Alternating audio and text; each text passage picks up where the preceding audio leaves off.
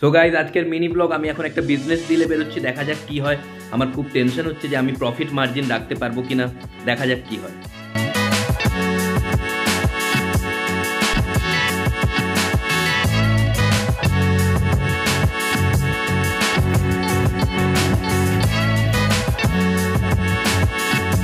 প্রচণ্ড টেনশন হচ্ছিল গাইজ আমি আমার প্রফিট করতে পারব কিনা গাইজ এবার বিজনেস ডিল স্টার্ট হবে।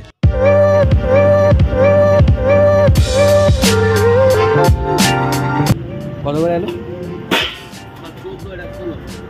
কোনটা চলছে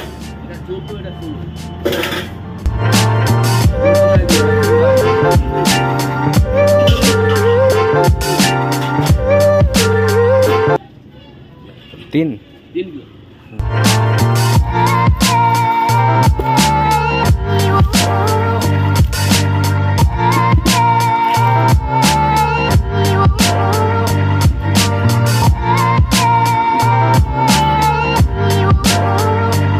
খুব খুশি বন্ধুরা ডিল সাকসেসফুল দেখো তোমরা। আমাকে চার কেজি আলু আনতে বলেছিল আর তিন কেজি পেঁয়াজ। তিন কেজি আলু দু কেজি পেঁয়াজ নিয়েছি বাড়িতে বুঝতে পারবে না। ডিল সাকসেসফুল একটা হেকটিক শেডিউলের পর আমি বাড়ির দিকে রওনা হলাম গাইজ বাড়িতে গিয়ে দেখা হচ্ছে গাইজ অনেক টায়ার্ড গাইজ বিজনেস ডিলটা করে এলাম গাইজ প্রত্যেকটা এক কেজি করে আলু পেঁয়াজ কম নিয়েছি গাইজ বাড়ি থেকে টাকা নিয়েছিলাম গাইজ বাকিটা আমার প্রফিট গাইজ আজকের business deal successful guys tata guys